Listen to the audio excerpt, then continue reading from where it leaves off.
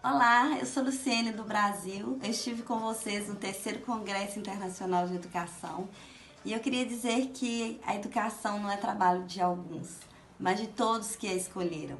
E Tucumã faz a melhor escolha quando investe na educação, na formação docente e na inclusão de todos. Parabéns, Tucumã! Feliz Natal e um ano novo repleto de saúde, paz e muito aprendizado. Um beijo do Brasil!